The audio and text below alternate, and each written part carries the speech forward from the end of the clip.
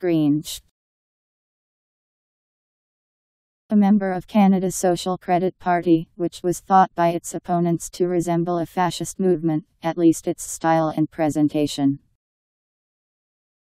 Sometimes used to refer to the Iron Guard death squads in Romania.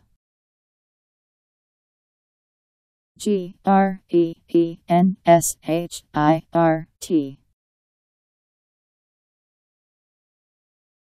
Greenshirt